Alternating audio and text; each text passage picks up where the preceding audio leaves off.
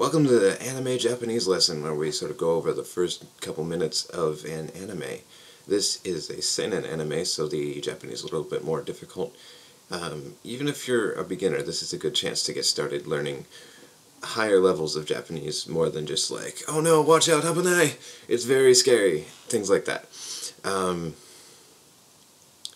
we're just going to jump straight into this, and there's a couple words that beginners can sort of learn right off the bat so that they can just sort of watch, know a little bit of what's going on, and then try and get the rest by going back and listening, maybe breaking it down, trying to look up some words. Please don't use Google Translate. Google Translate is terrible, especially at grammar.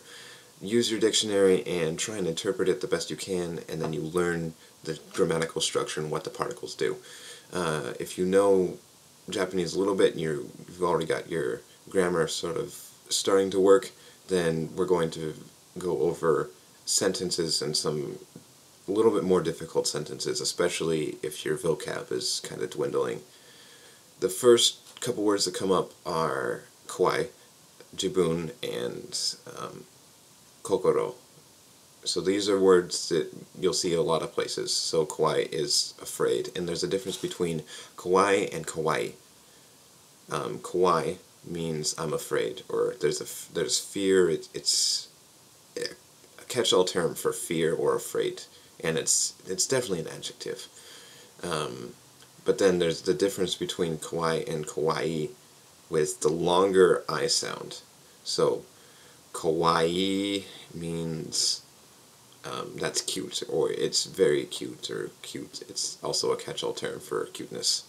Then you have jibun no, my, and then jibun no kokoro, my heart. Um, one word you might not be familiar with is fumikomu, which is it's creeping, or um, jibun no kokoro fumikon, fumikomu kwai. Uh, the fear is creeping into my heart. Then it sort of moves on to his job interview where he's talking to a publisher and he's trying to get his anime published or his manga, his manga published, and they're talking about um, his work, Sakuhin. They're also talking about what else are they talking about? I have the translation, or not the translations. I have the words. Um, he says something like, um, "Demo nante yuka." What do I say about this, or how do I feel? Um, he he's trying to be careful about how he says it because he knows that artists are uh, sensitive about their work, and he's he's like, step into your work more. Um, sakuhin kakanaito, or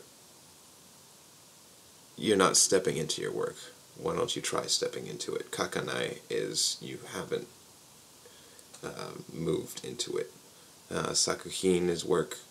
Um, he also has this sentence where it's like, Miyate konai desu yo, anata no kao ga and uh, anata no kao, uh, your your face is the subject of the sentence, where um, miyate konai is it's not seeable. So it's a strange construction, but it sort of refers to the readers and we're not able to see your face in this work, or not able to see um, your personality expressed in this piece of work. We're not seeing your background, we're not seeing your feelings, we're not seeing your emotion, and it sort of seems sort of stilted. And I know I'm saying sort of a lot, but uh, you're learning some Japanese, which is good. Let's see. After that, it moves on to a radio, a radio, um, just a radio saying something. And the important part is, is, is it's saying a date and it's also giving a point of reference and dates and points of reference are important in this show because of reasons that you'll find out later and it's good to have this sensitivity.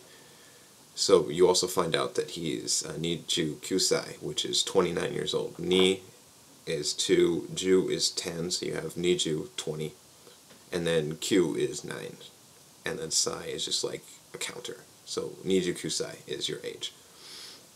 Uh, let's see. You also have Nisen Rokunen. Uh, Nisen is 2000, and Roku is 6. So, um, Nisen Rokunen, Nen is years, so you have Nisen Rokunen is um, 2006. So you learn that point of reference here. You also hear World Cup. And uh, Doitsukai uh, Kae Makumade is the opening is almost here. So the opening of the World Cup is almost here, a few days. Um, then he has this soliloquy where he's talking to himself about how if he only had the right words, uh, hibi kokoro no iru ano toki ko shite ireba uh, te yu kotoba. So I'm going to break that down so you can sort of um, understand a little bit.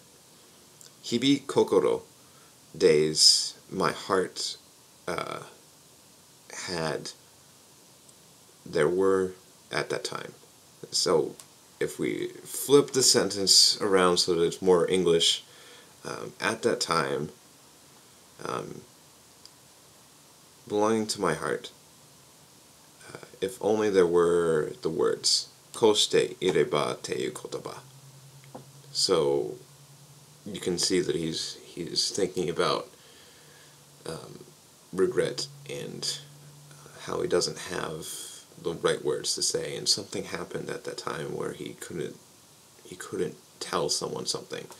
Then uh, this this all happens in just like a split second. It's really hard to seek through the video to find it.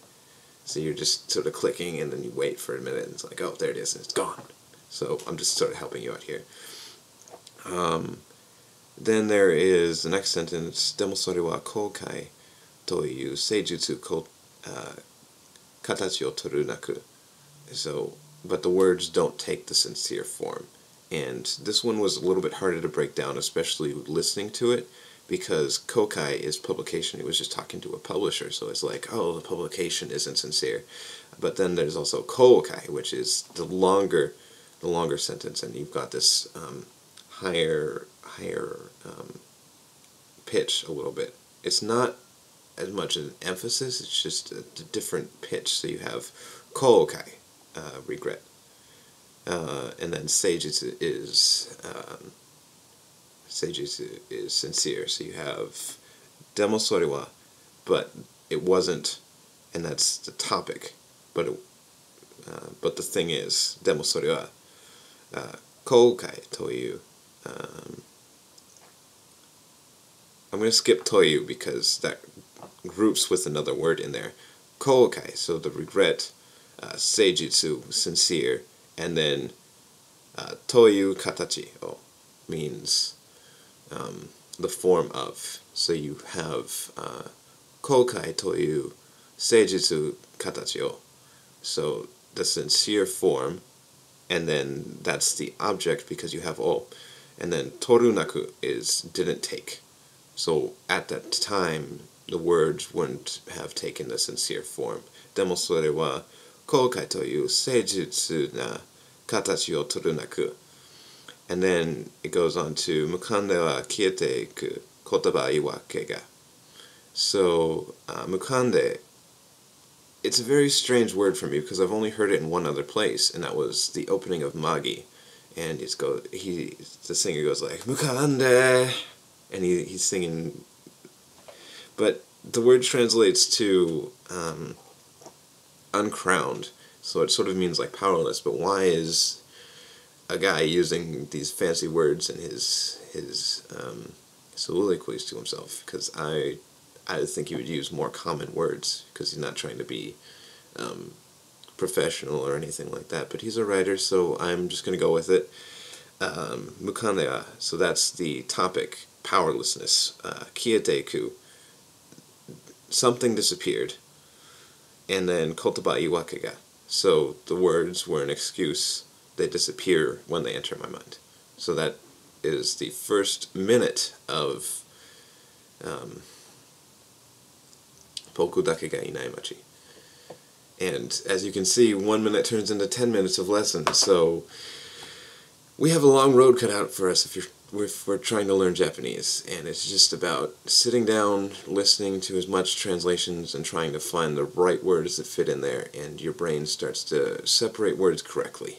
And um, I think that's all. Check out my other videos. Subscribe, rate, comment. It's the best way I can keep in touch with you and the best way you can start learning Japanese and have engagement. You should also go down in the description and check out the first link to that video. Um, listen to the first minute and see how amazing it is.